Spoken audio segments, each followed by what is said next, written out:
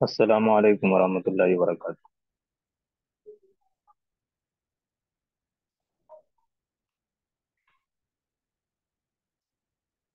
आवाज़ आ रही है तो इत्तला कर दें।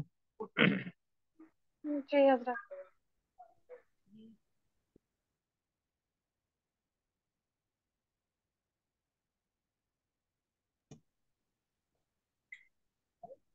आप सबको मालूम ही है कि आज ये हमारा प्रोग्राम का दिन है। सीरत के ऊपर हम लोग आज कुछ जानने की कोशिश करेंगे। सबसे पहले इस प्रोग्राम में हम आप सबका खैर मकदम करते हैं। माशाल्लाह आप सबों ने इस प्रोग्राम में शिरकत की, जिसके लिए जजाकुमुल्लाहु खैरल जजा। आप सबको इसका बेहतर बदला अता करे।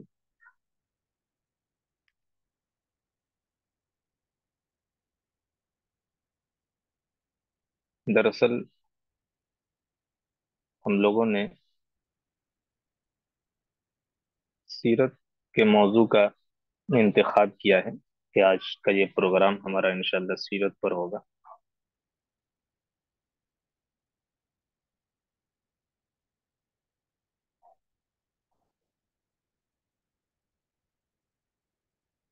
सीरत की इस नशिस्त का मकसद हमारा ये है कि चूँकि आप सल्लल्लाहु अलैहि वसल्लम हम सब के लिए आइडियल और नमूना है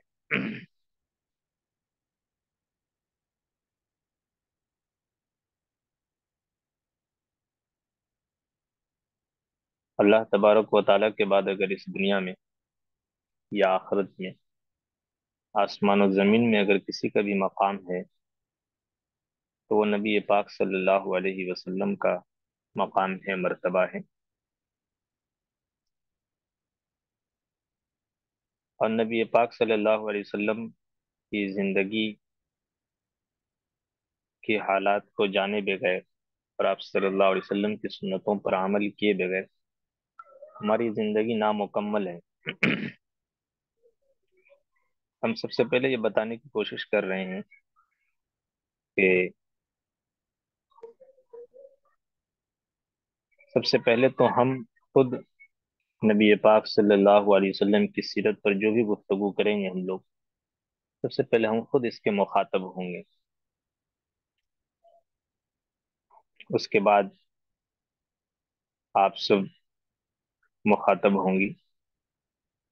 कोशिश है कि अल्लाह तबारक व ताली हमें नबी पाक सल्लल्लाहु अलैहि वसल्लम की सुन्नतों पर अमल की तौफीक दे, तौफीक बख्शे। नबी पाक सल्लल्लाहु अलैहि वसल्लम के बारे में अल्लाह तबारक व ताली ने खुद कुरान में कहा उस हसना यानी नबी पाक सल्लल्लाहु अलैहि वसल्लम हम सब के लिए एक बेहतरीन नमूना है। अल्लाह की नबी सल्लल्लाहु अलैहि वसल्लम के अलावा इस दुनिया के अंदर कोई भी आइडियल या नमूना न किसी को बनाया जा सकता है न बनेगा। और सिर्फ़ कुरान ही नहीं, बल्कि अगर आप किताबों का मुताला करेंगे और दुनिया के हालात पर नज़र रखेंगे तो सिर्फ़ मुसलमानों ही ने नहीं यानी मुस्लिम उलमा ही ने नहीं बल्कि गैरों ने भी यहाँ तक कि काफिरों ने भी और यहूदी जो कि मुसलमान का सबसे बड़ा दुश्मन है उन लोगों ने भी इस बात की इस बात को तस्लीम किया है कि नबी पाक सल्लल्लाहु अलैहि वसल्लम की ज़िंदगी और नबी पाक सल्लल्लाहु अलैहि वसल्लम का निज़ाम ज़िंदगी और नबी पाक सल्लल्लाहु अलैहि वसल्लम का तरीक़ाकार दुनिया में सबसे बेहतर है, इससे बेहतर और कोई नमूना नहीं हो सकता। इससे बेहतर ज़िंदगी और कोई नहीं हो सकती, इससे बेहतर निज़ाम नहीं हो सकता है। आप सब माइकल हार्ट का नाम जानती होंगी, जो अमेरिका का एक यहूदी है, माइकल हार्ट, जो माहिर फल्कियात है और फिजिक्स का भी माहिर है। और अमेरिका में एक बड़ा नाम है उसका एक यहूदी शख्स है, लेकिन उन्होंने एक किताब लिखी कि सौ बड़े नाम, यानी पूरी दुनिया के अंदर सौ बड़े लोगों का नाम लिखा उन्होंने उस किताब में और उसका तारुफ कराया। तो आपसे इस बात को जानकर हैरान होंगे कि उस यहूदी शख्स ने नबी पाक सल्लल्लाहु अलैहि वसल्लम का नाम पहले नंबर पर रखा। यानी सौ बड़े लोगों में उस यहूदी शख्स ने ताजुब की बात यह है कि यहूदी ने किताब लिखी है और सौ बड़े लोगों का इंतखाब किया है पूरी दुनिया के अंदर, कि पूरी दुनिया के अंदर सौ बड़े लोग कौन कौन हैं। उसमें सबसे पहले नंबर पे आप सल्लल्लाहु अलैहि वसल्लम का नाम रखा। तो ये बहुत हैरत की बात है, बहुत ताजुब की बात है कि सिर्फ़ मुसलमानों ही ने नहीं, बल्कि गैरों ने भी इस बात को तस्लीम किया है और इसमें कोई शक नहीं है। अब कुरान में देखेंगे कि अल्लाह तबारक फरमाते हैं, अऊज़ु बिल्लाहि मिनश शैतानिर रजीम, बिस्मिल्लाहिर रहमानिर रहीम। कुल इन कुंतुम फत्तबिऊनी व यगफिर लकुम दुनूबकुम ये सूरह आल इमरान की आयत है। कुरान पाक के अंदर अल्लाह तबारक व ताला फरमा रहे हैं कि आप फरमा दीजिए, आप कह दीजिए कि अगर तुम अल्लाह से मोहब्बत रखते हो, इन तुम तुहिब्बून अल्लाह, अगर तुम अल्लाह से मोहब्बत रखते हो तो फत्तबिऊनी यानी अल्लाह तबारक व ताला हुक्म दे रहे हैं अल्लाह के अपने महबूब नबी पाक सल्लल्लाहु अलैहि वसल्लम से कि आप कह दीजिए लोगों को कि अगर तुम अल्लाह से मोहब्बत रखते हो तो फिर मेरी इत्तिबा करो, मेरी इतात करो। इसका नतीजा क्या निकलेगा? यू युहबिबकुमुल्लाह कि अल्लाह अल्लाह भी तुमसे मोहब्बत करने लगेगा व यगफिर लकुम दुनूबकुम और तुम्हारे गुनाह माफ़ कर देगा अल्लाह। यानी ये कि नबी पाक सल्लल्लाहु अलैहि वसल्लम की ज़िंदगी और उनकी सीरत और उनके तरीक़े कार को अपनाए बगैर हमारी ज़िंदगी बिल्कुल नामुकम्मल है। और हम ज़िंदगी में और दुनिया में कामयाब नहीं हो सकते हैं और आखिरत में भी हम कामयाब नहीं हो सकते हैं। तो नबी पाक सल्लल्लाहु अलैहि वसल्लम का एक एक लम्हा हमारे लिए नमूना है। एक हदीस एक हदीस है मिशकात शरीफ की रिवायत है। और बुखारी में भी वो रिवायत है, मुस्लिम में भी वो रिवायत है। फरमाते, ला युमिनु अहदुकुम हत्ता अकून अहब्बा इलैहि व वन्नासी अजमाई फरमाते हैं कि तुम में से कोई कामिल मोमिन हो ही नहीं सकता उस वक्त, जब तक कि मैं, यानी कि तुम्हारे नज़दीक, तुम्हारे बाप, तुम्हारे बेटे और दुनिया के तमाम लोगों से ज़्यादा महबूब न हो जाऊँ। यहाँ तक के फरमाया। फिर एक बुखारी शरीफ की एक और रिवायत है कि कुल्लु उम्मती, कुल्लुन उम्मती यदखुलून जन्नत इल्ला मन अबा। फरमाया कि तमाम के तमाम जो मेरी उम्मत है वो जन्नत में दाखिल होंगे, मगर वो शख्स जिन्होंने इनकार किया। कील वमन अबा। साहब कराम ने सवाल किया कि कौन इनकार करेगा? इनकार करने वाला कौन है? तो फरमाया कि मन अतानी दखल जन्नत जिसने मेरी की, यानी नबी पाक सल्लल्लाहु अलैहि वसल्लम फरमा रहे।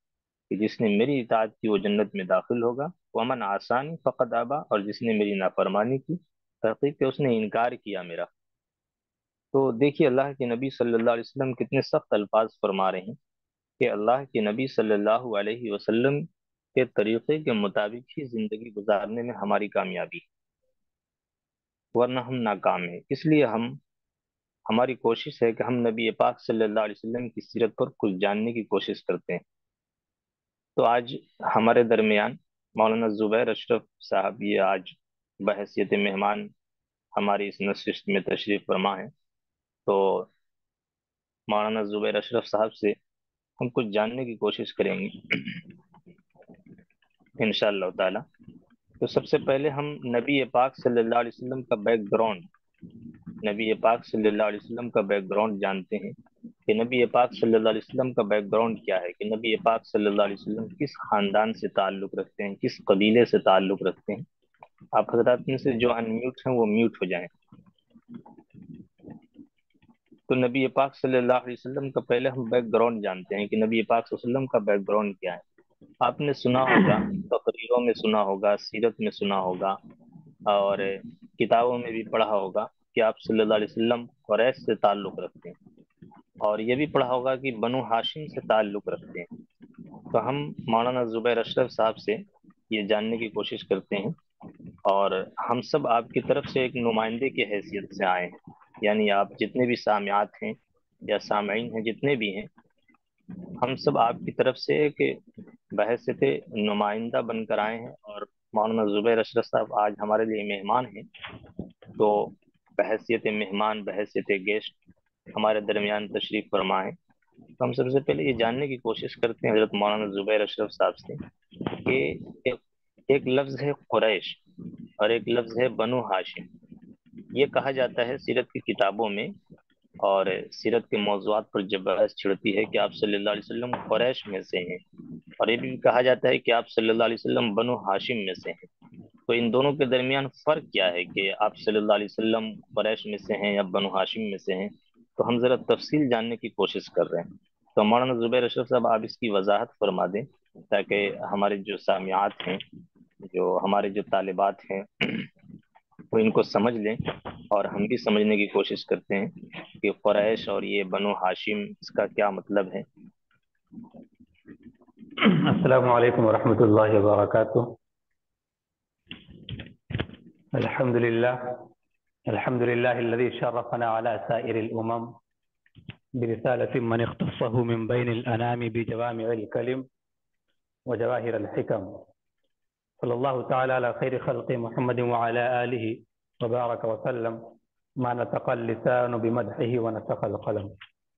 आवाज मेरी जा रही है अब सब तक जी जी जी तो सबसे पहले आप सबका शुक्रिया कि आप सब तशरीफ़ लाई। हजूर पाक सल्लल्लाहु अलैहि वसल्लम का ज़िक्र खैर हम सब के लिए बायस रहमत है। हजूर पाक सल्लल्लाहु अलैहि वसल्लम की शख्सियत इस दुनिया में, ख़ासतौर से हमारे लिए, समझिए कि एक ज़रिए निजात है। हसार इबन साबित, बगैर तमहीद के मैं बात शुरू करता हूँ, जो मौलाना ने सवाल किया उसका जवाब दूँगा। हसान इबन साबित एक शायर हैं। वे कहते हैं वह अहसन अमिन कलम तरक़त आइनी व अजमल अमिन कलम सलिदिन निसा, खुलक़त मुबर्रअम मिन कुल्ल आइबिन कअन्नका कद खुलिक़त कमा तशा ये अरबी का शेर है जिसका तर्जमा ये है। हसान इबन साबित को कहते हैं कि वहसन अमिन कलम तरक़त आइनी कि आपसे ज़्यादा हसीन मेरी आँखों ने देखा नहीं? वह अहसन अमिन कलम तरक़त आइनी व अजमल अमिन कलम तलिदिन निसा और अब से आपसे ज़्यादा जमील, खूबसूरत बच्चा किसी माँ ने अभी तक जाना नहीं है। वो अजमल अमिन कलम तलिदिन निसा। खूबसूरती में कैसे हैं? खुलकता मुबर्र मिन कुल्ल आइबिन उनकी पैदाइश ऐसी हुई है, ऐसा लगता है कि हर तरह के नुक्स से वो पाक है। खुलकता मुबर्र मिन कुल्ल आइबिन कअन्न का कद खुलकता कमा तशा। ऐसा लगता है कि उनकी पैदाइश खुद हुई है, यानी उन्होंने अपने आप को खुद बनाया। है हजर पाक सल्लल्लाहु अलैहि वसल्लम की ये सिफत है, कुछ खलकी सिफतें हैं हजर पाक सल्लल्लाहु अलैहि वसल्लम की, कुछ खुलकी सिफतें। हैं खलकी सिफत का मतलब ये होता है कि हजर पाक सल्लल्लाहु अलैहि वसल्लम की पैदाइश, हजर पाक सल्लल्लाहु अलैहि वसल्लम के जिस्म के आज़ा कैसे थे, उनके बाल कैसे थे। और खुलकी सिफत का मतलब ये होता है कि आपके आजात आपके अतवार, आपके तौर तरीके क्या थे। तो दोनों पर गुफ्तु होगी इन ताला। आज न सही, फिर किसी दूसरे दिन होगी। तो हम ये चाहते हैं, चूँकि हमारा मकसद ये है कि इस नशिस्त से हम कुछ सीख करके जाए। हजर पाक सल्लल्लाहु अलैहि वसल्लम के बारे में तो हजर पाक सल्लल्लाहु अलैहि वसल्लम की सीरत क्या है तो आहिस्ता आहिस्ता करके हम पूरा करने की कोशिश करेंगे। तो चलते हैं उस सवाल की तरफ़, जो हमसे किया गया है। खुदर पाक सल्लल्लाहु अलैहि वसल्लम का जो नसब है, वो कुछ इस तरह से बयान किया जाता है, मोहम्मद बिन अब्दुल्ला बिन अब्दुल मुत्तलिब बिन हाशिम बिन अब्द मन्नाफ बिन कुस्सा बिन किलाब बिन मुर्रा बिन काब बिन लुबई बिन गालिब बिन फहर बिन मालिक बिन नज़र बिन कनाना। यहाँ पे हम रुक जाते हैं। ये नज़र बिन कनाना, इसकी जो औलाद है, इनको कुरैश कहा जाता है।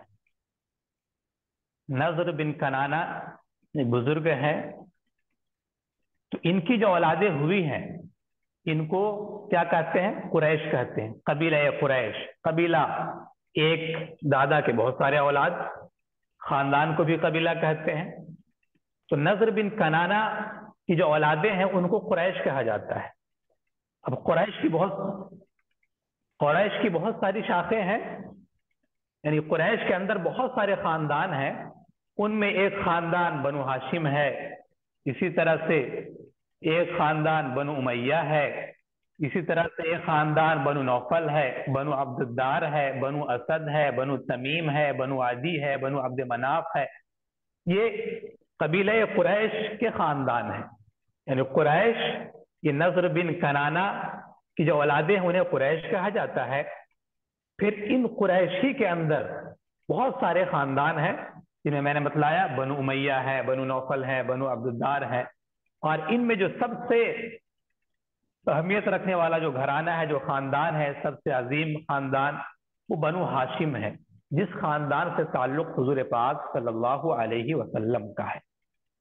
जी तो मैंने बतला दिया आपसे कि कुरैश किसको कहते हैं? नज़र बिन कनाना की जो औलादे हैं, उन्हें कुरैश कहा जाता है।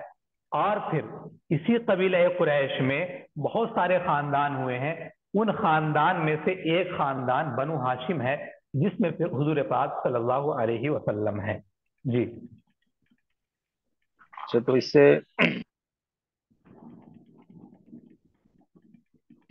मतलब ये बात जो है बिल्कुल साफ़ तौर पर आया हो गई ये बात कि कई खानदान मिलकर के एक कबीला बनता है है ना?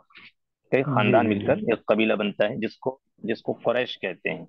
मतलब यहाँ पे कुरैश कहा जा रहा है जो नज़र बिन कनाना की औलाद से जो नस्लें जो चली हैं वो कुरैश में से हैं और कुरैश की जो बहुत शाखें निकली हैं, जैसे बनो हाशिम, जैसा कि मौलाना ने कहा, बनो हाशिम, बनो मैया, बनो नौफल, बनो अब्दुल्दार वगैरह, ये सब खानदान है। जैसे हम अपने रिश्तेदारों में भी बोलते हैं कि ये फलां का खानदान है, जैसे दादा का या परदादा का, या उसके, उससे पहले वाले के जो दादा होते हैं, उससे खानदान चलता है कि ये अहमद मियाँ का खानदान है, ये फला मियाँ का खानदान है। तो इसी एतबार से यहाँ पर भी जो है आप सल्लल्लाहु अलैहि वसल्लम का जो खानदान है वो बनु हाशिम है। बनु हाशिम का मतलब ये कि इनमें कोई एक हाशिम है जिनसे ये खानदान मशहूर हुआ है। इसी वजह से इस खानदान का नाम बनु हाशिम रखा गया है। लेकिन कबीला कुरैश है। तो ये बात बिल्कुल क्लियर हो गई कि आप सल्लल्लाहु अलैहि वसल्लम का कबीला कुरैश है और खानदान बनु हाशिम अब हम अगले सवाल की तरफ़ चलते हैं कि ये बनु हाशिम जो है मौलाना बनु हाशिम ये कौन है? इस खानदान के बनु हाशिम जो हाशिम नाम रखा गया यानी बनु का मतलब तो औलाद के हो गए यानी हाशिम की औलाद। तो ये हाशिम कौन है इसमें? जी। ये हाशिम जो है हुजूर पाक सल्लल्लाहु अलैहि वसल्लम के समझिए कि ये परदादा हुए और इनका असल नाम जो है ये हाशिम नहीं असल नाम इनका अम्र है। लेकिन अच्छा जी। मैंने जैसा कि हम्म। हाँ, जैसा कि मैंने कहा कि ये एक अजीम शख्सियत थी और ये मेहमानों की बड़ी खिदमत किया करते थे। खाना काबा की जो देखभाल इनकी ज़िम्मेदारी थी। अरब में एक मरतबा कहत पड़ा। तो उस वक्त जो है इन्होंने लोगों को जो मेहमान बाहर से आने वाले थे उनको भी और जो अरब के लोग थे मक्का के जो लोग थे उनको भी खाना खिलाया। और वो तरीका ये अख्तियार किया था कि शोरबा बना करके उसमें जो है रोटी वगैरह को रोटियों को तोड़ तोड़ के उसमें डाल करके और फिर उनको खिलाया था। तो ये हशामा के माना ही आते हैं कि चूर चूरा चूरा करना। तो चूँकि उन्होंने रोटी को टुकड़े टुकड़े करके उसमें डाला था और लोगों को खिलाया था तो उसी वक्त से इनका जो है ये मशहूर हो गया और उसी वक्त से ये हाशिम कहे जाने लगे। तो हाशिम की वजह तस्मिया ये है। इन नाम रखने अच्छा, की वजह। अच्छा। इनका असल नाम क्या है? अम्र असल नाम है लेकिन हाशिम कहने की वजह यही है जो मैंने बतलाई। अब ये बहुत अजीम खानदान है उस दौर का। अब ये हाशिम जो है इनके बेटे हैं अब्दुल मुत्तलिब। हाशिम के बेटे अब्दुल मुत्तलिब हैं जो हजूर पाक सल्लल्लाहु अलैहि वसल्लम के दादा हुए अब्दुल मुत्तलिब। अब ये हाशिम जो है इनकी शादी जो है मदीनतुल मनवरा में हुई थी लेकिन ये बहुत दिन तक ज़िंदा नहीं रह पाए। और जिनसे ये अब्दुल मुत्तलिब है वो पैदा हुए। फिर अब्दुल मुत्तलिब को जो है मक्का में लाया गया और फिर इससे फिर अब्दुल मुत्तलिब के बहुत सारे बेटे हुए। उनमें से फिर हुजूर पाक सल्लल्लाहु अलैहि वसल्लम। जी। मौलाना यहाँ पर माजरत माजरत थोड़ा मैं मैं अपने सामियात से ये गुजारिश करना चाहता हूँ। अगर कोई बात नोट करना चाहें तो आप नोट भी कर सकती हैं। मतलब कोई ऐसी बात, आपको ऐसे लगे कि हाँ ये बात नोट करनी, क्योंकि इसका एक फ़ायदा ये होगा कि जब आगे चल करके हम जो है सीरत का मुताला करेंगे या आप सीरत का मुताला करेंगी तो ये सब बातें जो है आपको जहन नशी होती चली जाएँगी और आपको ये बातें मतलब जहन में आती चली जाएगी कि हाँ हमने कहीं पर सुना था ये बात। तो सीरत के मुताले में इसका बड़ा नफा होगा। तो जैसा कि मौलाना ने कहा कि हाशिम के बेटे थे अब्दुल मुत्तलिब। अब हम अब्दुल मुत्तलिब के बारे में मौलाना जानना चाह रहे हैं। कि अब्दुल मुत्तलिब की क्या शख्सियत थी? इनका कोई तारुफ अगर आप बतला दे तो बेहतर रहेगा। जी। कहते अल वलद सिर्रुन लि अबीही कि बेटा जो है अपने बाप के नक्शे कदम पर चलता है। चूँकि हाशिम मेहमान नवाजी में क्योंकि अरब जो है मेहमान नवाजी में बहुत मशहूर थे और हाशिम खास तौर से जो हाशिम का बेटा अब्दुल मुत्तलिब हुए तो इनके बारे में कहा जाता है कि ये अपने बाप से भी ज़्यादा एक कदम आगे बढ़े हुए थे। अब्दुल मुत्तलिब। तो ये भी बहुत मेहमान नवाज़ थे और इनकी शख्सियत भी जो है मक्का में एक बड़ी शख्सियत थी और लोग इनको सरदार की हैसियत से जानते थे। खाना काबा की ज़िम्मेदारी जैसा कि हाशिम के जमाने में उनकी ज़िम्मेदारी में खाना काबा थी। इनके जमाने में अब्दुल मुत्तलिब के जमाने में खाना काबा का देखभाल इन्हीं की ज़िम्मेदारी में हुआ करती थी। ये अब्दुल मुत्तलिब के। जी। जी और अब्दुल मुत्तलिब अब्दुल मुत्तलिब के बारे में जो है, बहुत सारे ऐसे मशहूर वाकयात भी हैं। जैसे मिसाल के तौर पर हम सीरत की किताबों में पढ़ते हैं कि जमजम के कुएँ की तलाश उन्होंने की या इसी तरीके से जो है उन्होंने जो दस, उनके जो औलादे हुई दस या ग्यारह, उन, उनका भी एक वाक़ बहुत ज़्यादा मशहूर है कि उन्होंने जो है फिर कुरान अंदाजी वगैरह का जो वाक़ आता है, उसमें तस्करा आता है। इसके पीछे मतलब क्या वाक़े की तफसील क्या है?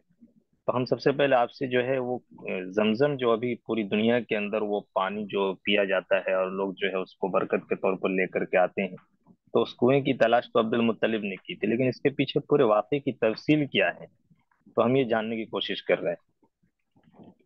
जी सबसे पहले हम जानते हैं ये जो आब जमजम है जमजम का पानी जिसे कहा सक, कहा जा सकता है इसका बैकग्राउंड जानते हैं कि ये पानी कहाँ से आया कैसे आया। मुख्तसरन जानते हैं फिर हम जाहे जमजम जिसका जिसकी खोज तलाश अब्दुल मुत्तलिब ने की थी उस पर फिर हम आते हैं। तो सबसे पहले हज़रत इब्राहिम सलाम के जो मशहूर मारूफ बेटे हैं हज़रत इस्माईल सलाम जब इनकी पैदाइश हुई अल्लाह ताला ने हज़रत इस्माईल को हज़रत इब्राहिम को बहुत सारे इम्तहान से गुजारा। तो उनमें से एक इम्तहान ये भी था कि जब इस्माइल की पैदाइश हुई थी तो अल्लाह ताला ने हज़रत इब्राहिम सलाम से कहा कि तुम अपने बीवी बच्चों को ऐसी जगह पर छोड़ आओ जो सहरा हो चटिया मैदान हो जहाँ ना आबादी हो। तो हज़रत इब्राहिम सलाम इन्हें लेकर के इसी जगह में यानी मक्तुल मुकर्रमा में इनको छोड़ दिया था क्योंकि उस वक्त आबादी नहीं थी। तो वहाँ पे कोई आबादी नहीं थी चूँकि अल्लाह का हुक्म था नबी तो अल्लाह के हुक्म के खिलाफ कर नहीं सकता है। तो हज़रत इब्राहिम सलाम अपने साथ, अपने बीवी बच्चों के लिए कुछ खजूरे वगैरह भी लाए थे, कुछ पानी भी लाए थे। और जब घर से लेकर चले थे तो उस वक्त मालूम नहीं था, हज़रत हाजरा जो हज़रत इब्राहिम की बीवी है, यानी हज़रत इस्माइल की जो माँ है, इनको मालूम नहीं था कि हमें छोड़ा जा रहा है कहीं। लेकिन जब हज़रत इब्राहिम उनको बेआबो गया, जंगल में छोड़कर जा रहे थे तो हज़रत हाजरा ने पूछा कि आप हमें यहाँ छोड़कर जा रही हैं? हज़रत इब्राहिम ने कोई जवाब नहीं दिया, फिर पूछा तो हज़रत हाजरा समझ गई कि हो सकता है अल्लाह का हुक्म हो तो पूछ लिया उनसे, क्या अल्लाह का हुक्म है? तो हज़रत इब्राहिम ने जवाब दे दिया इशारे में।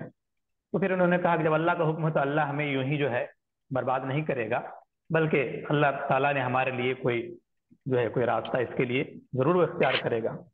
तो बहरहाल, हज़रत इब्राहिम जब वहाँ से चले गए, जो उन्होंने खजूर वगैरह दिया था, जो पानी सब दिया था अब कितना दिन चल सकता था? एक दो दिन, उसके बाद खजूरें खत्म, पानी भी खत्म। वहाँ पानी तो था नहीं। तो बच्चा भी छोटा सा है। अब ये बच्चा जब एक दो दिन के बाद पानी ना होने की वजह से प्यास के मारे तड़पने लगा और पानी और इसकी माँ भी चूँकि ज़ाहिर सी बात है, माँ को भी प्यास लगेगी। अब माँ भी जो है पानी के लिए तड़प रही है। उस वक्त हज़रत हाजरा सलाम ये जो आज मक्का में कोहे, सफ़ा व मरवा है, इसके ऊपर चढ़ करके उन्होंने इधर उधर इंसान कहते हैं ना कि बिल्कुल जब परेशान हो जाता है तो इधर उधर दौड़ लगाता है, इस आस में, इस उम्मीद में कि हमें कोई कोई हमारा सहारा मिल जाए, हमें पानी मिल जाए। तो हज़रत हाजरा ने सात मरतबा चक्कर लगाया, लेकिन पानी कहीं पर भी नहीं मिला, कोई इंसान वहाँ तक नहीं मिला। जब वापस आती हैं तो देखती हैं कि हज़रत इस्माइल सलाम जहाँ थे, जहाँ उनके पाँव एड़ियाँ जो है वो रगड़ रहे थे, उसी जगह से एक पानी का चश्मा निकल आया। तो उसी पानी को जमजम कहा जाता है। वो एक शायर कहता है कि, बच्चा तड़पता है तो माँ का दम निकलता है। बच्चा तड़पता है तो माँ का दम निकलता है, जब माँ तड़पती है तो जमजम निकलता है। तो ये पानी है जमजम का। अब देखिए, जब जमजम का पानी वहाँ पे निकला ऐसे हाजरा ने उस पानी को घेर दिया, कुएँ की तरह बना दिया। अब लोग, एक कबीला था, कबीले जुरहम। ये कबीले जुरहम यमन के रहने वाले थे। अब ये जब इस रास्ते से गुजर रहे थे तो इन्होंने देखा कि यहाँ पानी है और उस दौर में पानी का मिल जाना एक गनीमत थी। तो इन लोगों ने हज़रत हाजरा से पूछ करके, इजाज़त लेकर के, क्या हम आपके साथ ठहर सकते हैं? वो लोग ठहर गए। इस तरह से उनका कबीला वहाँ पे आबाद हो गया, बनु जुरहुम का कबीला। अब यह कबीला वहाँ पर फैलते फैलते गया। हज़रत इस्माइल का निकाह भी इन्हीं कबीले में हुआ था। कबीले जुरहुम में हज़रत इस्माइल सलाम का निकाह भी हुआ। अब मरूर जमाना यानी अयाम जमाने गुजरते गए सदियाँ गुजरती गई। अब इन लोगों ने यानी जुर्म कबीले के जो लोग थे इन्होंने अरब पर हुकूमत करना शुरू कर दिया। अब ज़ाहिर सी बात है कि लोग हर दौर में एक तरह नहीं रहते हैं। अब इनकी जब हुकूमत आई तो इन्होंने अरबियों के ऊपर कुछ जुल्म सितम करना शुरू कर दिया। जो अरब के जो कमज़ोर किस्म के लोग थे, वो तमाम समझिए कि एक एकजुट होकर के, सब मिल करके इन्होंने इसके खिलाफ एक्शन लिया और फिर इनसे जंग किया और इनको भागने पर मजबूर किया कबीले जुरहम के लोगों को। उस वक्त ये लोग जब जा रहे थे, जुरहम के लोग तो इनके पास जो मालो दौलत थी, इसको इन्होंने क्या किया कि उन तमाम को उस जमजम के कुएँ में डाल करके, जमजम के कुएँ को बिल्कुल भर दिया, ज़मीन के बराबर कर दिया। अब अरब के लोगों को इस तरफ़ ध्यान भी नहीं था। अब यही क्योंकि बहुत वक्त गुजर गया तो लोगों का ध्यान भी उधर नहीं रहा, और वो जमजम का कुआँ उसी तरह से भरा हुआ रहा।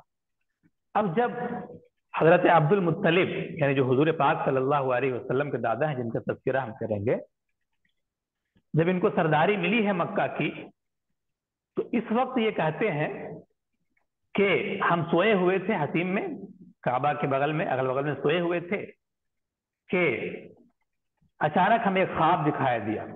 और ख्वाब में कोई हमसे कह रहा है इहफिर बिर्रा कि बर्रा को खोदो मैंने दर, दरियाफ्त किया ओमा बर्रा। ये बर्रा क्या चीज़ है? वो शख्स चला गया। अगले रोज फिर उसी जगह अब्दुल मुतलिब सो रहे थे। तो फिर जो है ख्वाब में वो शख्स आया। और कहता है इस फरिल मजनूना, कि मजनूना को खोदो। अब्दुल मुतलिब कहते कि मैंने फिर दरियाफ्त नहीं किया कि मजनूना है क्या चीज़? वो शख्स चला गया। तीसरे रोज फिर उसी जगह ख्वाब में देखा कि वो शख्स ये कह रहा है इहफिर इहफर तय्यबा, के तयबा को खोदो। मैंने कहा माँ तय्यबा, ये तय्यबा है क्या चीज़? वो शख्स फिर चला गया। चौथे रोज फिर इसी जगह पर यह ख्वाब देखा, वो ये शख्स कहता है कि जमजम को खोदो। जमजम के कुएँ को खोदो। मैंने कहा कि जमजम क्या है? यानी उस वक्त समझिए कि जमाना गुजर गया था तो जमजम को लोग जानते भी नहीं थे। तो अब्दुल मुतलिब को चूँकि ख्वाब में नज़र आया तो इसने पूछा अब्दुल मुतलिब ने कि ये जमजम क्या चीज़ है? तो उसने जवाब दिया कि वो एक पानी का एक कुआँ है, जिसका पानी ना कभी टूटता है, ना कभी कम होता है। बेशुमार हजाज जो हज करने वाले आते हैं, वो उनसे सैराब होते हैं। तो इस तरह का जब वाकत आया, फिर अब इनको अब्दुल मुतलिब को ये, जब उन्होंने ख्वाब में इतनी मरतबा इसको देखा तो इनको यकीन हो गया कि हमें जो है खोदना चाहिए। फिर उस जगह के कुछ निशानात और कुछ अलामत भी ख्वाब में इनको बतला दिया गया। अब इनको यकीन हो गया कि ये सच्चा ख्वाब है, रुई या सादिका जिनको कहा जाता है, ये एक सच्चा ख्वाब है। अब अब्दुल मुत्तलिब ने यह ख्वाब कुरैश से ज़िक्र किया। मक्का के जो लोग थे, उनसे इसका तस्करा किया अपना ख्वाब ज़िक्र किया। और कहा कि मेरा इरादा है कि इस जगह को हम खोदें तो कुरैश के लोगों ने इसकी मुखालिफत की कि नहीं, क्यों खोदेंगे इस जगह को? लेकिन अब्दुल मुतलिब चूँकि वो ख्वाब देख चुके थे, उनको यकीन था कि हमें बार बार कहा जा रहा है, यहाँ कोई चीज़ है ज़रूर। तो अब्दुल मुतलिब ने उनकी मुखालिफत के बावजूद, यानी उन्होंने जो मुखालिफत की, उसकी परवाह किए बगैर अब्दुल मुत्तलिब ने वहाँ पे खोदना शुरू किया। और उस वक्त अब्दुल मुत्तलिब की सिर्फ़ एक औलाद थी, जिनका नाम हारिस था। अब्दुल मुत्तलिब के बाद में तो दस बेटे हुए, लेकिन उस वक्त जो इनका एक बेटा था, वो हारिस था। तो अब्दुल मुत्तलिब खुद अकेले और हारिस दोनों मिलकर के उस जगह को खोदने लगे, जो निशानात उनको ख्वाब में बताए गए थे। अब खोदते खोदते जो है, अब्दुल मुत्तलिब खोदते थे, हारिस मिट्टी उठा उठा कर फेंकता था। तीन रोज गुजर गए, फिर आखिरकार उनको कुएँ की जो निशानी और वो अलामत मिल गई। ये फर्त मसरत से जो है अल्लाह अकबर का इन्होंने नारा लगाया। ठीक है? और कहा कि यही इस्माइल का कुआँ है। तो इसके बाद फिर अब्दुल मुत्तलिब ने क्या किया? क्योंकि कुआँ मिल चुका था, पानी भी उन्होंने देख लिया। तो जमजम के करीब कुछ हौज तैयार करवाए। क्योंकि ये खादिम हरम खादिम हरम थे, यानी मक्का के खादिम थे, जो हाजियों की खिदमत किया करते थे। पानी वगैरह पिलाना, खाना, खिलाना, ये इनकी ज़िम्मेदारी भी थी। तो इन्होंने जमजम के करीब, जमजम का जो कुआँ था, उसके करीब कुछ हौज तैयार कराए। जिनमें आब जमजम भर करके हाजियों को पिलाते थे।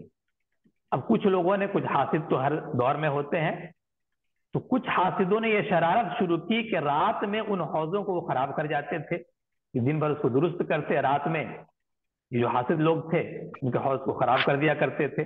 जब सुबह होती तो अब्दुल मुत्तलिब उनको दुरुस्त करते। घबरा कर उस बारे में अल्लाह ताला से हज़रत अब्दुल मुत्तलिब ने दुआ मांगी और जब उन्होंने दुआ मांगी तो उनको ख्वाब में ये बतलाया गया कि तुम ये दुआ मांगो अल्लाह,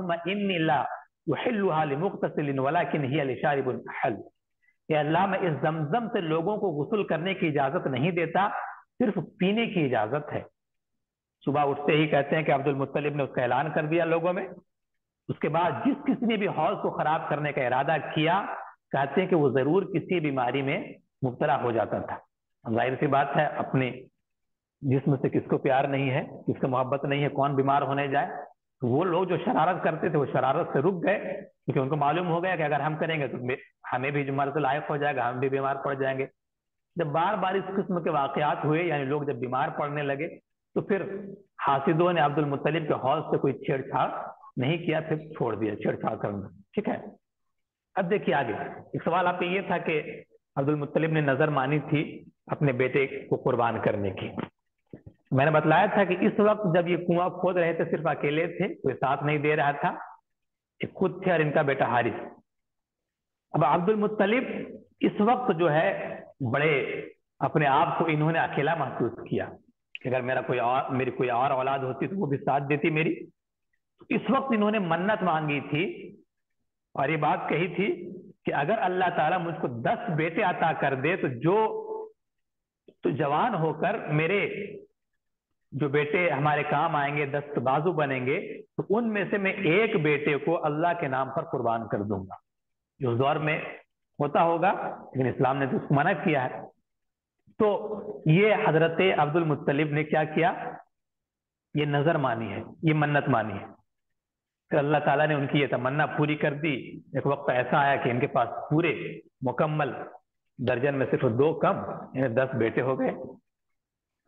अब एक रात ये खाना काबा के सामने सो रहे थे तो ख्वाब में इन्होंने ये देखा कि एक शख्स ये कह रहा है, या अब्दुल मुत्तलिब ऊफ बिनजरिक रब बैत।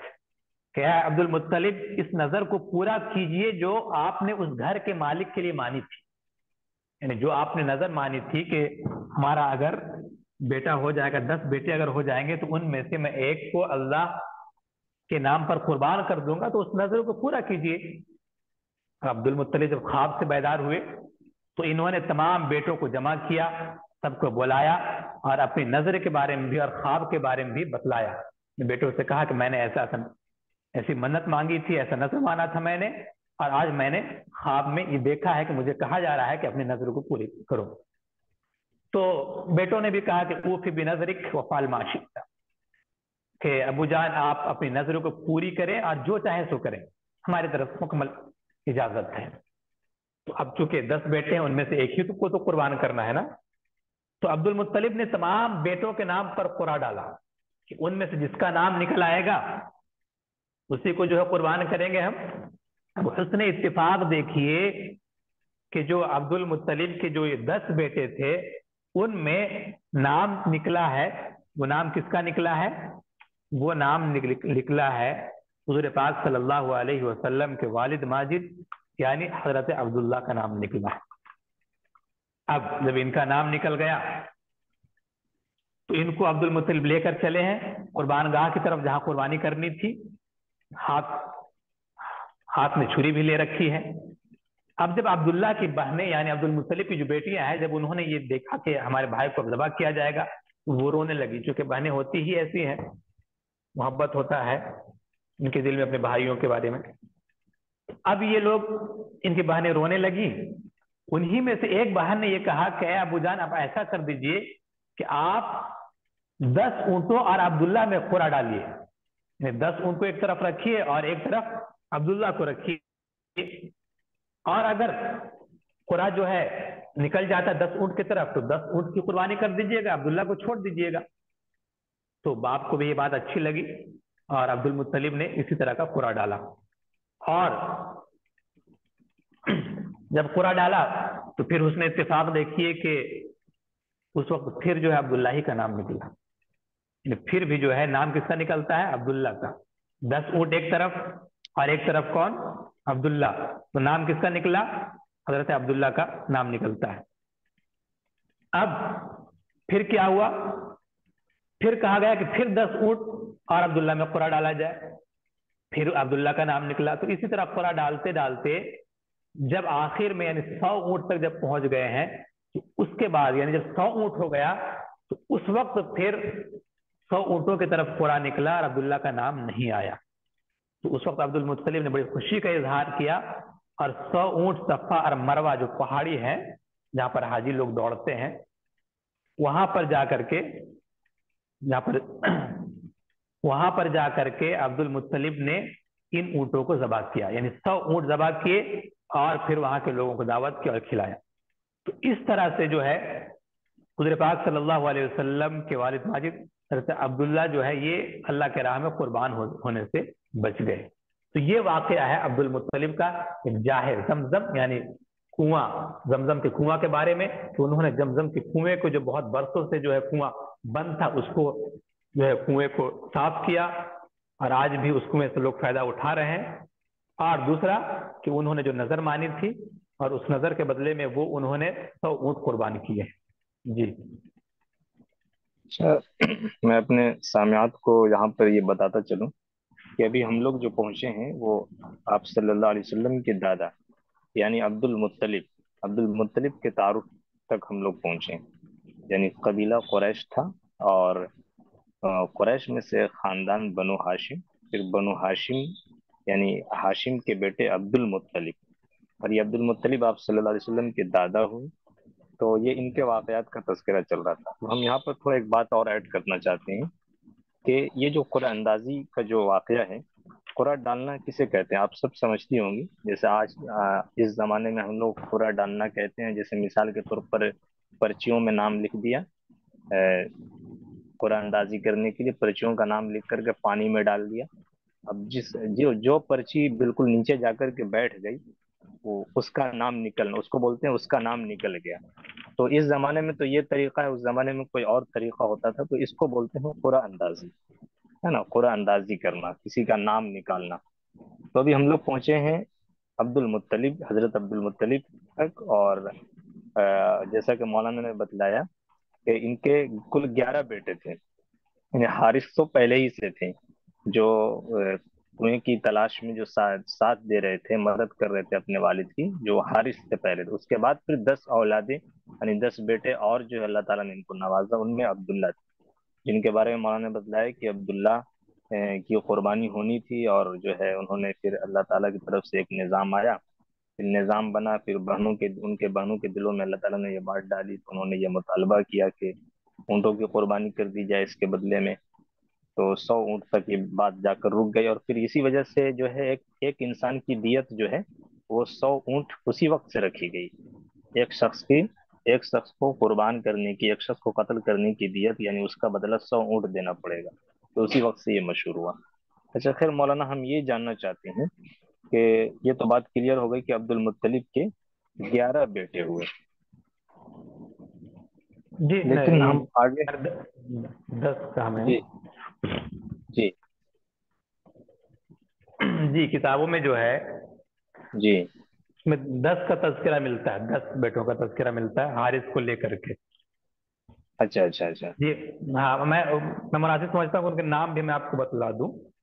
दस बेटे हारिस हारिस जुबैर हज जरार मुकविम अबू लहब अब्बास हमजा अबू तालिब अब्दुल्ला।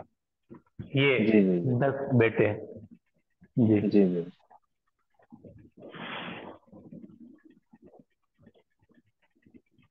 अच्छा फिर जो है चूँकि जब इन सब चीज़ों से फारिग हो गए अब्दुल मुत्तलिब तो अब इनका जो पहला कदम था किस बात की तरफ़ था? जैसे किताबों में आता है कि अब्दुल अब अब्दुल मुत्तलिब जो अपने साहबजादे हज़रत अब्दुल्ला के निकाह के सिलसिले में जो है गौर फ़िक्र करने लगे। तो इस सिलसिले में क्या मतलब है? क्या सीरत हाँ? जब जो है ये अब्दुल मुत्तलिब अब्दुल मुत्तलिब है जब इन सब चीज़ों से यानी इन्होंने मन्नत पूरे करने से जब फरागत हासिल की तो अब्दुल मुत्तलिब फिर जो है ये हज़रत अब्दुल्ला की शादी की फ़िक्र में लग गए। अब कबीले बने जोहरा ये मदीना का, कबीला है उसमें एक बहुत ही शरीफ खानदान है शराफत वाली।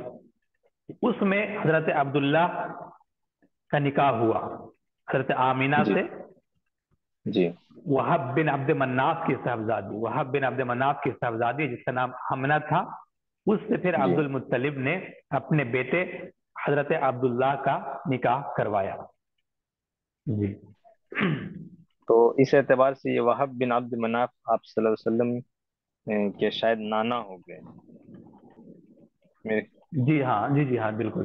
क्योंकि हज़रत आमना मनाफ। वालिद हैं। जी जी जी। वहाब बिन अब्द मनाफ जो है ये वहाब हुजूर पाक सल्लल्लाहु अलैहि वसल्लम के नाना हो गए। देखिए अब्दुल मुत्तलिब हुजूर पाक सल्लल्लाहु अलैहि वसल्लम के दादा हो गए। ठीक है? वहाब हुजूर पाक सल्लल्लाहु अलैहि वसल्लम के नाना हो गए। आमिना अम्मी हो गई अब्दुल्ला अब्बू हो गए। जी जी। जी। वक्त तो खैर बहुत तेज़ी से निकल रहा है लेकिन हम कुछ और जो है आपसे सवाल करना चाह रहे थे।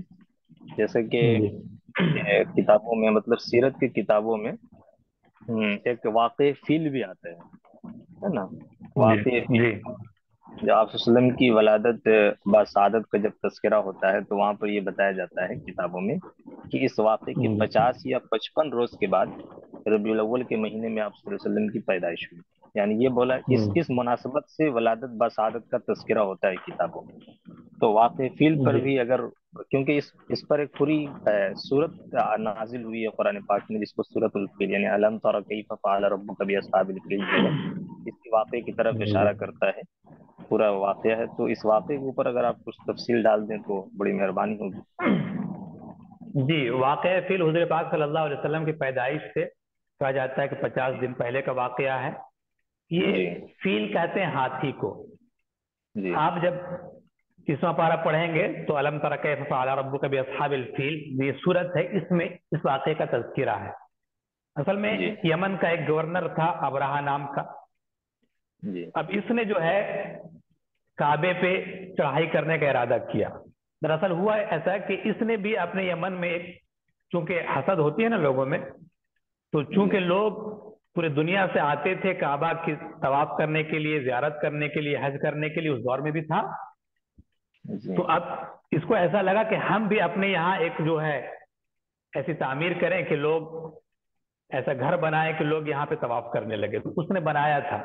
ये घर बनाया था। तो अरबों को ये बात बुरी लगी तो बहरहाल कुछ उसमें छेड़छाड़ इस तरह से कुछ हुआ था। मौलाना एक मिनट हम यहाँ पर ये बात मतलब इसमें और ऐड करना चाहते हैं। हम ये जानना चाह रहे हैं कि इसी इस जमाने में भी मतलब अब्दुल मुत्तलिब ही खाने काबा के जिम्मेदार थे उनकी चाबी उन्हीं के हवाले थी पूरी खिदमत का अंजाम वही दे रहे थे अब्दुल मुत्तलिब ही। हाँ बिल्कुल। उस वक्त अब्दुल मुत्तलिब ही हाँ जी वही दे रहे थे। तो जी। तो गोया कि इस वाक़े का ताल्लुक भी अब्दुल मुत्तलिब ही से जाकर जो होता है है ना? हाँ बिल्कुल अभी हम बतलाते हैं इसको। तो अबराहा ने जो ये बदमाशी की और उसने ये चाहा कि हम ऐसा करते हैं कि जा करके काबा ही को गिरा देंगे। जब काबा को हम गिरा देंगे तो फिर लोग मजबूर होकर हमारे ही पास आएँगे। अब इनके पास ताकत और कुवत थी अरब के पास उतनी ताकत और कुवत उस वक्त नहीं थी। तो अब ये जो जी। है अबरहा जो है लश्कर लेकर चला है। और उस वक्त अरब में हाथी वगैरह का उतना रिवाज नहीं था लोगों ने वहाँ चूँकि ऊँट और घोड़े यही सब लोग देखते थे तो अब ये हम्म। अबरहा इसके पास हाथी भी थे तो अबरहा हाथी को लेकर के यमन से चला है और चलने के बाद जब काबा मक्का में पहुँचा है तो मक्का इन्होंने इन्होंने इन्होंने इन्होंने मतलब काबे को मुनहदिम करने के इरादे से जब निकले थे तो उससे पहले ही यमन में शायद इन्होंने एक गिरजाघर बना लिया था अपना एक हाँ बना हाँ लिया मैंने बतलाया जी जी। मैंने बतलाया कि वो बना लिए थे लेकिन फिर अरबों को ये बात बुरी लगी तो किसी ने उसको तोड़ दिया था या कुछ लोग करते थे कि, कि जा करके हाँ। किसी ने वहाँ पे नजासत कर दी थी तो इस तरह से। फिर उसने तोड़ने की कोशिश की काबा को तो जब ये। लश्कर लेकर के चला है लश्कर लेकर के चला है और काबा पहुँचने से पहले इसने जो पड़ाव डाला वहाँ पे रुक गया। उसके बाद इसने जो है अपने एक आदमी को भेजा कि जाओ जो यहाँ के जो सरदार हैं उनको बुला करके लाओ।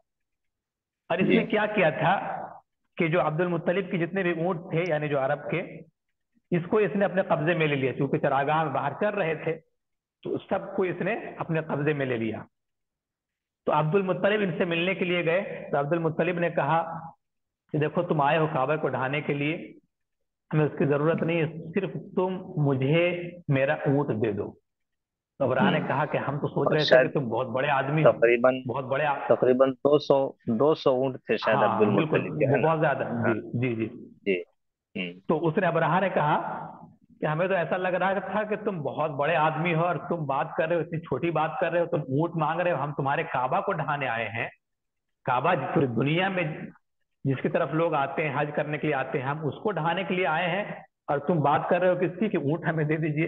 तो अब्दुल मुत्तलिब ने जवाब दिया था कि बात ऐसी है कि हम, इन ऊंटों के मालिक तो हम हैं। और इस घर का मालिक कौन है? इस घर का मालिक अल्लाह है। अल्लाह इसकी हिफाजत कर लेगा। लेकिन ऊँट के मालिक हम हैं तो हमें हमें अपने ऊंटों की फ़िक्र ज़्यादा है। इसलिए तुम हमें अपने ऊँट दे दो। और जहाँ तक काबा की बात है तो ये बैतुल्लाह अल्लाह का घर है। अल्लाह ताला इसकी हिफाजत कर लेगा। तो बहरहाल हज़रत अब्दुल मुत्तलिब जो है ऊँट लेकर वहाँ से चले आए और अब्दुल मुत्तलिब ने खुद और जो कुरैश के लोग थे उनको ले करके और कहा कि हम लोग अब मक्का से निकल कर पहाड़ी पर चले जाते हैं। अब देखते हैं कि ये लोग फिर काबा के साथ क्या करता है। अब जो है अबराह के लिए रास्ता खाली था। अब अबराह दूसरे दिन उसने चाहा कि हम हमला करें। अब जैसे उसने हमला करना चाहा तो अल्लाह ताला ने परिंदों को जिनको अबाबिल कहा जाता है, परिंदों को भेजा, उनकी चोंच में और उनके पाँव में कुछ कंकरियाँ थी। उन कंकरियों के ज़रिए अल्लाह ताला ने उनको तबाह बर्बाद किया और वो कंकरी जब हाथियों पर भी, वो कंकरी जब लगती थी तो हाथी भी जो है पागलों की तरह इधर उधर भागने लगे और उन हाथियों ही की चपेट में वही लोग आ गए। इसको अल्लाह ताला ने बड़े अच्छे अंदाज में बयान किया है। कहता है, सुनिएगा, अलम फअल रब्बुका बिअसहाबिल फील? क्या तुमने देखा नहीं कि तुम्हारे परवरदिगार ने हाथी वालों के साथ क्या क्या मामला किया? कैसा मामला किया? अलम यजाल कैदहुम फ़ी तजलील, क्या उसने उन लोगों की सारी चालें बेकार नहीं कर दी थी? जो ये सोच कर आए थे कि हम तो हाथी जैसी ताकत हमारे पास मौजूद है, हम हाथी को लेकर जा रहे हैं, वो काबा के सुतून को जो है बिल्कुल ज़मीन से उखाड़ करके फेंक देंगे। ये इनका मंशा था, ये इनका मकसद था। अल्लाह ताला क्या कहता अलम यजाल कैदहुम फ़ी तजलील क्या उसने उन लोगों की सारी चालें बेकार नहीं कर दी? अबाबिल और उन पर गौल के गौल परिंदे छोड़ दिए गौल के गौल यानी बिल्कुल झुंड में परिंदे आते थे अबाबिल परिंदे और अपने चोंच में अपने पाँव में कंकरिया लाते थे और उनको इन पर गिराते थे इन कंकरियों की वजह से जो है ये कंकरिया समझिए कि बुलट का काम करती थी और ये लोग तमाम के तमाम तबाह बर्बाद हुए और वो अब रहा वो भी वहाँ से कहते हैं कि भागता भागता वो यमन भी नहीं पहुँच पाया था कि जल सड़ करके उसका जिस्म जो बर्बाद हो गया और इसी तरह से वो मर गया वारसल कि उस पर गौर के गौर परिंदे छोड़ दिए थे। तरमीहिम बिहिजारतिन मिन सिज्जिल, जो परिंदे उन पर पक्की मिट्टी के पत्थर फेंक रहे थे। फजालहुम कासिम उन्हें ऐसा कर डाला जैसे खाया हुआ भूसा हो। यानी अल्लाह ताला ने उसकी हालत ऐसी कर दी जिसकी कोई अहमियत ही नहीं रही। बिल्कुल तबाह बर्बाद कर दिया। तो ये है वाकया फील। इसके बाद हुजूर पाक सल्लल्लाहु अलैहि वसल्लम कहते हैं कि 50 दिन के बाद पैदा हुए और आपको ये भी मालूम है कि हुजूर पाक सल्लल्लाहु अलैहि वसल्लम यतीम पैदा हुए थे। यानी हज़रत अब्दुल्ला की जब शादी हज़रत आमना से हुई उसके कुछ दिनों बाद ही हज़रत अब्दुल्ला का की वफात हो गई। हुजूर पाक सल्लल्लाहु अलैहि वसल्लम इस एतबार से क्या पैदा हुए? यतीम पैदा हुए थे। अच्छा इसमें जो है मौलाना किताबों में ये भी आता है मतलब सीरत की किताबों में इस तरीके से भी आता है कि मतलब उस वो जो कंकरी थी वो बहुत ज़्यादा सख्त थी। मतलब जैसे अभी इस जमाने में अगर अ, मिट्टी को बिल्कुल पका दी जाए तो हम्म हम्म, मतलब इतनी ताकत थी उसके अंदर और एक जह, मतलब जहरीली कंकरियाँ थी वो। तो किताबों में आता है कि जब वो मतलब जिस्मों पर या हाथियों पर जब वो कंकरियाँ गिरती थी तो जैसे मिसाल के तौर पर हाथ पे अगर वो कंकरी गिरी तो वो हाथ कटकर अलग हो जाता था।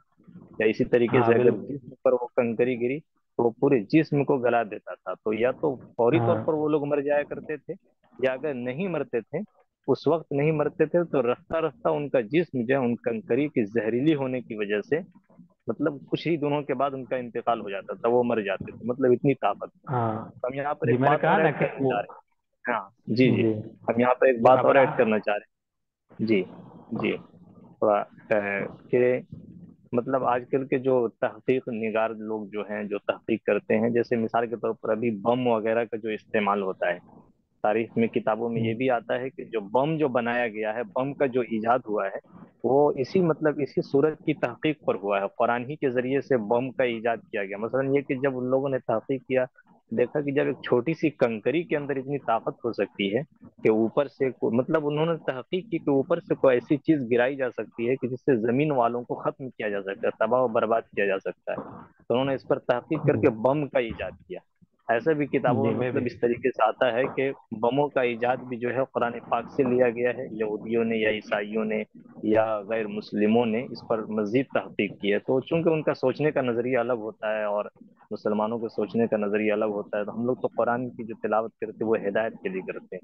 लेकिन वो लोग किसी और चीज़ के लिए कुरान का इस्तेमाल करते हैं। तो खैर बहरहाल हम अब आगे चलते हैं कि वलादत बसादत यानी कि इस वाक़े इस वाक़े को वाक़े फिल कहते हैं। हम अपने सामयात को ये बता देना चाह रहे हैं कि इस वाक़े को वाक़े फील कहते हैं। फील यानी ऊँट के माने हाथी के माने आते हैं। फील के माना हाथी। तो कहा जाता है कि इस वाक़े के पचास या पचपन रोज के बाद आप सल्लल्लाहु अलैहि वसल्लम की वलादत बसादत होती है। तो अभी चूँकि रबी अव्वल का महीना चल रहा है मौलाना तो रबी और हम लोगों के लिए खुशनसीबी की बात है कि रबीउल अव्वल के महीने में हम लोगों ने इस प्रोग्राम को शुरू किया इस नशिस्त को शुरू किया है। तो जरा हम ये रबी अव्वल का महीना तो क्लियर है कि आप वसल्लम जो है रबीउल अव्वल के महीने में पैदा हुए लेकिन तारीख के सिलसिले में क्या कौल है? कि आप सल्लम किस तारीख में पैदा हुए? इस सिलसिले में जरा रहनुमाई फरमा दें। जी, ये बात तो सब उलमा के नज़दीक उस पर मुत्तफिक हैं कि हजूर पाक सल्लल्लाहु अलैहि वसल्लम की पैदाइश रबी अव्वल को हुई और वो दिन सोमवार का दिन था। लेकिन तारीख कौन सी थी? इसमें अभी तक इत्तेफाक नहीं हो पाया है। कोई ये कहते हैं कि दो तारीख, कोई आठ कहते हैं, कोई नौ कहते हैं और कोई बारह कहते हैं। बहरहाल जो भी हो, लेकिन इसी महीने में पैदा हुए हैं। अब यहाँ पर देखिए एक नुकता आप मैं आपको बतलाना चाहता हूँ, इस पर तवज्जो कीजिएगा कि एक ऐसा शख्स, इसी तरह वफात के बारे में भी, हजूर पाक सल्लल्लाहु अलैहि वसल्लम की तो पैदाइश है, इस वक्त तो अभी अल्लाह के नबी नबी नहीं बने थे। यहाँ तो कहा जा सकता है कि लोगों ने ख्याल नहीं रखा होगा। लेकिन वफात के बारे में भी कोई हकीकी बात नहीं कही जा सकती है कि हजूर पाक सल्लल्लाहु अलैहि वसल्लम की वफात बारह रबी अव्वल को हुई है, या नौ तारीख को हुई है, या आठ को हुई है। मतलब लोग कुछ तो कहते हैं कि राजे कौल ये है कि बारह को हुई है। लेकिन फिर बात वही है कि अगर राजे है तो फिर इख्तलाफ हुआ क्यों? जो के दरमियान इख्तलाफ इसमें है, कोई मुत्तफिक नहीं है एक बात पर। वजह क्या है? बहुत गौर करने की बात है मैंने कहा कि पैदाइश क्योंकि उस वक्त नबी नहीं थे अल्लाह के नबी ये तो कहकर हम टाल दे सकते हैं कि उस वक्त लोगों को नहीं मालूम था कि ये नबी होंगे इसलिए लोगों ने तारीख को मुतयन नहीं किया। तो एक हो सकता है हमारे पास एक कॉज हो सकती है। लेकिन वाकया जो है वफात की उसको नोट क्यों नहीं किया? वो तो अल्लाह के नबी है यहाँ एक आम इंसान की वफात होती है तो लोग उसकी पूरे बायोग्राफी लिख देते हैं पूरे तारीख और किस वक्त कितने सेकंड में कितना बजकर कितना मिनट में पैदा हुआ, कितना बज के कितना मिनट में उसकी वफात हुई, वो तमाम की तमाम चीज़ें लिखी रहती हैं। इसमें बहुत से खामोश मैसेज है।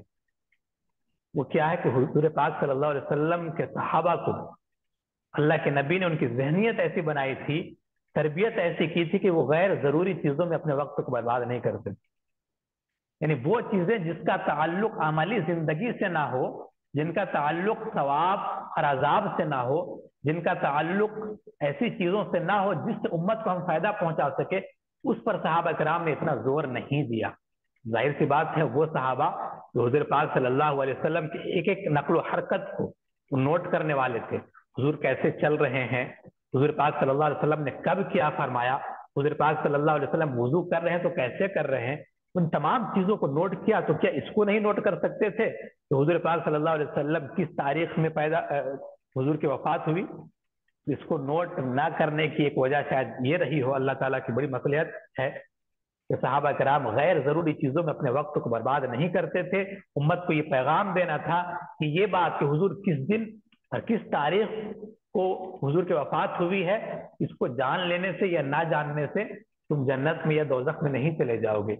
इसलिए अपने जो कीमती वक्त है, उनको ऐसी चीज़ों में लगाओ जिससे आपको फ़ायदा पहुँच सकता है। मैं इसको इस तरह सोचता हूँ। जी। जी जी। एक ये भी हिकमत हो सकती है क्योंकि अभी चूँकि हम लोग जो है देख रहे हैं कि बारह रबी अव्वल को जो है आमतौर पर लोग बिदातों, खुराफात रस्म रिवाज में जो है मुबतला होते हैं। तो अल्लाह अल्लाह तबारक ने इस वजह से भी जो है इस तारीख को जो है मख्फी रखा, छुपा कर रखा ताकि लोग जो है खुराफात में रस्म रिवाज में, क्योंकि इस्लाम का ताल्लुक तो रस्म रिवाज से है नहीं, इस्लाम तो रस्म रिवाज से बिल्कुल बालातर है। तो एक हमत ये भी हो सकती है कि चूँकि इतनी बड़ी शख्सियत है अल्लाह ताला के बाद आप का मकाम है तो हो सकता है कि बंदे जो है लोग जो है आप की पैदाइश और वफात पर जो है तरह तरह के रस्म व रिवाज करें तरह तरह के खुराफात मचाएँ या और किसी तरह की बिदात उसमें शामिल करें तो इन सबको इन सबसे रोकने के लिए भी अल्लाह ताला की एक मसलत हो सकती है कि अल्लाह ताला आप की पैदाइश और आप की वफात की तारीख को मख्फी रखा हो। एक हमत ये भी हो सकती है ना? जी जी बिल्कुल बिल्कुल। जी। हाँ तो बात वही है कि गैर ज़रूरी चीज़ों में हाँ जी अपने वक्त को ना बर्बाद किया जाए ये मैसेज इससे हम सबको मिलता जी जी हाँ। क्योंकि असल असल मकसद है अल्लाह के तरीके एक चीज़ और बतला दूँ। जी एक मिनट एक चीज़ बतला दूँ। ये जो अगर हम ईसवी तारीख को अगर देखते हैं तो हजर पाक सल्लल्लाहु अलैहि वसल्लम की पैदाइश हुई है पाँच सौ इकहत्तर ईस्वी को हुई है यानी अभी चल रहा है दो हज़ार इक्कीस तो पाँच सौ इकहत्तर ईस्वी अप्रैल का महीना था।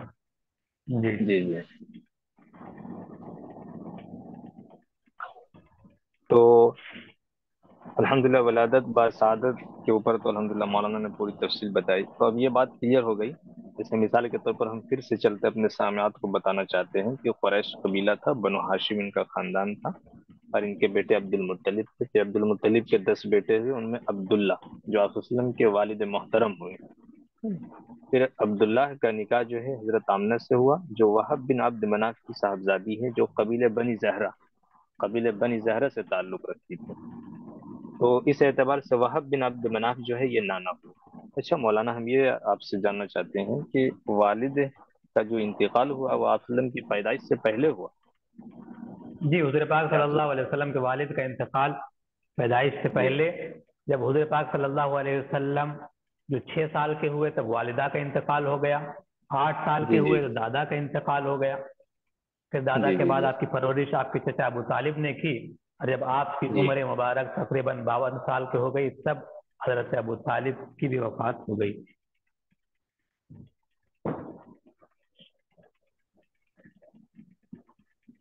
अच्छा आप वसल्लम का जो निकाह हुआ सबसे पहला तो ये तो खैर बात सबको मालूम है कि हज़रत खदीजा रज़ी अल्लाह से जो है आप का पहला निकाह हुआ। तो इस निकाह के पीछे क्या बैकग्राउंड है? यानी किस तरीके से इसका बैकग्राउंड देखिए अरब में निकाह मतलब बात चली रिश्ते की बात चली कि आप का पहला निकाह क्योंकि जी। हज़रत तो खदीजा रज़ी अल्लाह ताला अनहा। हज़रत खदीजा रज़ी अल्लाह ताला अनहा अरब में एक बहुत ही पाकबाज और समझिए कि एक मोहतरम शख्सियत थी और ये मालदार भी बहुत थी। हजूर पाक सल्लल्लाहु अलैहि वसल्लम की अमानत आपकी सच्चाई आपकी सदाकत आपकी दयानतदारी का चर्चा तो बचपन ही से था। तो इनको ऐसा लगा कि हम चूँकि औरत है ज़ाहिर सी बात है ये पहले दो मरतबा बेवा हो चुकी है। मालदार औरत थी ताजिरा थी। तो हुजूर सल्लल्लाहु अलैहि वसल्लम की अमानतदारी जी जी। हजर पाक सल्लल्लाहु अलैहि वसल्लम की अमानतदारी का जब शोहरा इन्होंने सुना तो इन्होंने हजर पाक सल्लल्लाहु अलैहि वसल्लम जी सॉरी तो हज़रत खदीजा ने जब हजूर पाक सल्लल्लाहु अलैहि वसल्लम की शोहरत जब सुनी, इनकी अमारतदारी का शोहरा जब सुना है तो हज़रत खदीजा ने हजूर पाक सल्लल्लाहु अलैहि वसल्लम से कहा कि आप जो है मेरे माल को लेकर जाएँ मुल्क शाम जाएँ और वहाँ से तिजारत करें। इनमें से जो भी नफा होगा हम उसको डिवाइड करेंगे। तो हजूर पाक सल्लल्लाहु अलैहि वसल्लम चूँकि मेहनत करने वाले इंसान थे, हजूर पाक सल्लल्लाहु अलैहि वसल्लम फ़ौरन तैयार हो गए। हज़रत खदीजा ने अपना माल दिया हजूर पाक सल्लल्लाहु अलैहि वसल्लम को। और उनके साथ हज़रत खदीजा ने अपने गुलाम, जिसका नाम मैसरा था, उनको भी हजूर पाक सल्लल्लाहु अलैहि वसल्लम के साथ भेजा। हजूर पाक सल्लल्लाहु अलैहि वसल्लम हज़रत खदीजा के माल को लेकर के ये मुल्क शाम गए हैं। और वहाँ बहुत ही अकलमंदी के साथ हजूर पाक सल्लल्लाहु अलैहि वसल्लम ने बगैर जो है एमबीए किए हुए मास्टर ऑफ़ बिज़नेस किए बगैर ऐसी तजारत की है कहते हैं, बहुत ज़्यादा नफा हुआ और फिर वहाँ से, यानी मुल्क शाम से फिर माल हजूर पाक वसल्लम ने खरीदा और फिर खरीद करके हज़रत खदीजा को दिया, हज़रत खदीजा उस माल को मक्का में बेची है तो फिर और चौगुना जो है नफा हो गया। तो इस तरह से हजूर पाक सल्लल्लाहु अलैहि वसल्लम ने हज़रत खदीजा को बहुत सारा मुनाफे कमा कर दिए। अब हज़रत खदीजा चूँकि एक अच्छे खानदान की औरत थी और अक्लमंद औरत थी, फहमीदा औरत थी आपकी शराफत और हजूर पाक सल्लल्लाहु अलैहि वसल्लम के अखलाक को देखकर बहुत ही मुतासर हुई। ठीक है? तो हज़रत खदीजा ने खुद इरादा किया कि अगर हजूर पाक सल्लल्लाहु अलैहि वसल्लम अगर मंजूर कर लें तो मैं हजूर से निकाह कर लूँगी। और हज़रत खदीजा ने जो है पैगाम निकाह हजूर पाक सल्लल्लाहु अलैहि वसल्लम तक पहुँचाया। इस वक्त हज़रत खदीजा की उम्र जो थी चालीस साल थी। हजूर पाक सल्लल्लाहु अलैहि वसल्लम की उम्र उस वक्त पच्चीस साल मौरख ने लिखा है। पच्चीस साल हजूर पाक सल्लल्लाहु अलैहि वसल्लम की उम्र थी। यहाँ मैं एक बात बतला, बतलाता चलूँ, उस दौर में ये छोटे बड़े का, यानी शादी के मामले में छोटे बड़े के बारे में कि मर्द छोटा हो या औरत छोटी हो या बड़ी हो, इस बारे में उतना लोग इसको माइंड नहीं किया करते। तो जमाने के अतबार से बातें होती हैं। हजूर पाक सल्लल्लाहु अलैहि वसल्लम की उम्र 25 साल थी। हज़रत खदीजा की उम्र उस वक्त कितने साल थी? 40 साल थी। हज़रत खदीजा ने हजूर पाक सल्लल्लाहु अलैहि वसल्लम के पास पैगाम निकाह का पैगाम भिजवाया। हजूर पाक सल्लल्लाहु अलैहि वसल्लम ने उसको कबूल किया। फिर जो है तब निकाह हुआ। हज़रत अबू तालिब, जो हजूर पाक सल्लल्लाहु अलैहि वसल्लम के चचा थे, उन्होंने हजूर पाक सल्लल्लाहु अलैहि वसल्लम का निकाह पढ़ाया। यहाँ एक बात मैं बताता चलूँ कि अबू तालिब ने निकाह पढ़ाते हुए जो खुतबा दिया था, उस खुतबे में जो उन्होंने हजूर पाक सल्लल्लाहु अलैहि वसल्लम की सिफत बयान की थी, वो कुछ इस तरह थी। अबू तालिब कहते हैं कि ये मोहम्मद बिन अब्दुल्ला हैं। जो अगरचे माल में कम है, यानी इनके पास अगर अगरचे माल थोड़ा कम है, लेकिन शरीफाना अखलाक और कमालत की वजह से जिस शख्स को आपके मुकाबले में रखा जाए, आप उससे ज़्यादा आलिम मरतबा निकलेंगे। यानी शराफत, अखलाक, कमालत में आपका कोई सानी नहीं है, आपका कोई मुकाबला नहीं कर सकता है। क्योंकि माल, अबू तालिब कहते हैं कि क्योंकि माल एक जाय होने वाला साया है। माल एक ऐसी चीज़ है जो जाय हो जाती है और लौटने वाली, लूटने वाली चीज़ है। लेकिन जो इंसान की शराफत है, जो उसकी बुजुर्गी है, उसके अखलाक है, उसके कमालत है, वो हमेशा बाकी रहने वाली चीज़ है। वो तालिब कहते हैं कि और ये मोहम्मद जिसकी कराबत को तुम सब जानते हो, खदीजा बिन खुलिद से निकाह करना चाहते हैं, और उनका कुल महर मुअज्जल, और मुअज्जल मेरे माल से है। यानी अबू तालिब ने हजूर पाक सल्लल्लाहु अलैहि वसल्लम का जो महर होता था, वो अबू तालिब यानी हजूर के जो चचा थे, उन्होंने अदा की थी।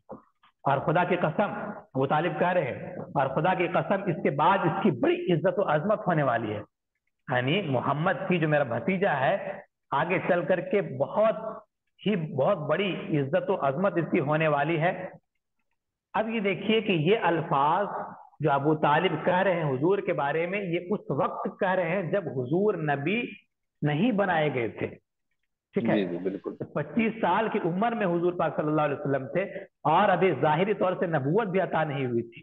फिर भी ये कि अबू तालिब अपने इस कदीम और फिर ये बात भी कि अबू तालिब जो है उसी कदीम मज़हब पर हैं जिसको मिटाने के लिए आप सल्लल्लाहु अलैहि वसल्लम की तमाम ज़िंदगी वक्त है।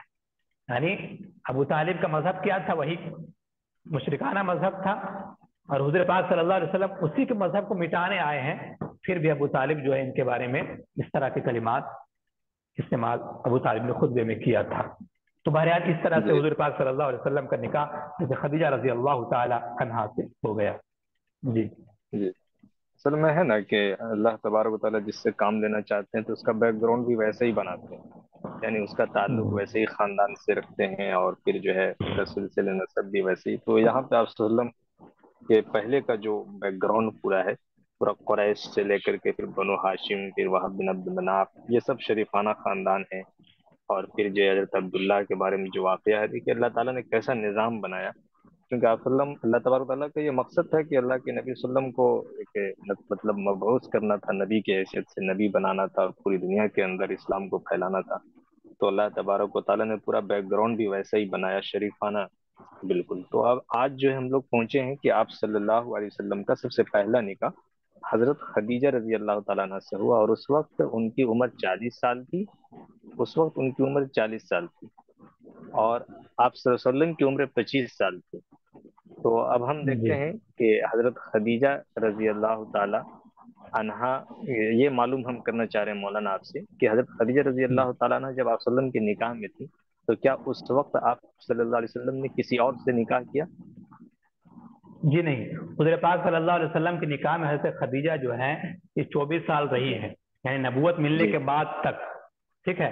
पच्चीस साल से लेकर के यानी ये समझिए कि वही उनचास साल जब आपकी उम्र हुई होगी उस वक्त तक रही हैं। इस दौरान हजर पाक सल्लल्लाहु अलैहि वसल्लम ने किसी दूसरी औरत से किसी दूसरी लड़की से निकाह नहीं किया। तो यहाँ पर ये बतला दूँ कि जितनी भी औलाद हजर पाक सल्लल्लाहु अलैहि वसल्लम की हुई है वो हज़रत खदीजा से हुई है। हजर पाक सल्लल्लाहु अलैहि वसल्लम की बेटियाँ चार थी हज़रत जैनब हज़रत रुकैया, उम्म कुलसुम और फातिमा। हजर पाक सल्लल्लाहु अलैहि वसल्लम के दो बेटे, वो हज़रत खदीजा के वतन से हैं, दो बेटे। और एक और बेटा है, वो एक बांदी थी, मारिया किब्तिया, उनके वतन से वो पैदा हुए हैं। तो दो बेटे जो हजर पाक सल्लल्लाहु अलैहि वसल्लम के खदीजा से हुई हैं, वो एक कासिम उनका नाम था, और दूसरा का नाम, दूसरे का नाम तैयब और ताहिर भी कहते हैं, अब्दुल्ला भी कहते हैं कुछ लोग। तो ये छह औलादे हजूर पाक सल्लल्लाहु अलैहि वसल्लम की हज़रत खदीजा से हुई हैं। जो बेटे थे वो बचपन ही में जो है वफात हो चुकी और जो बेटियाँ थी वो बे, बेटियों की शादी भी हुई है और फिर हज़रत फातिमा को कौन नहीं जानता है? हज़रत अली रज़ी अल्लाह तआला से इनका निकाह हुआ। जी जी। तो फिर इनशाला हम मतलब मेरी राय है कि आज आज के लिए इतना ही काफ़ी है। फिर हम चलेंगे इनशाला हज़रत खदीजा रज़ी अल्लाह की वफात के बाद फिर आपलम का निकाह किन से हुआ? फिर इसके बाद इंशाल्लाह अगले एपिसोड में, अगली नशिस्त में इंशाल्लाह हम इस पर गुफ्तु करेंगे। खदीजा रज़ी अल्लाह तहा का जब इंतकाल हुआ तो उसके बाद आप ने किन से निकाह किया? कितनी उम्र में निकाह किया?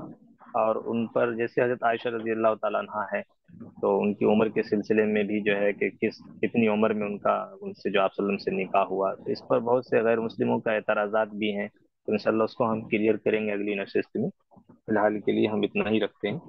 तो उम्मीद है कि आप सब बगौर सुनी होंगी और बात समझ में भी आई होगी। और नोट भी की होंगी जो ज़रूरी बातें होंगी। और ये सब अलहमदिल्ला जब आप सीरत की किताबों का मुताला करेंगी तो उस वक्त इंशाल्लाह इसका बड़ा फ़ायदा होगा, बड़ा नफ़ा होगा। और हमें चाहिए कि हम वसल्लम को अपना आइडियल और नमूना तो मानते ही हैं, लेकिन सिर्फ़ मानने से काम नहीं चलेगा, बल्कि हमें भी और आप सबको भी, हम सबको आप की ज़िंदगी और आप की सुन्नतों को अपनी ज़िंदगी में दाखिल करने की ज़रूरत है।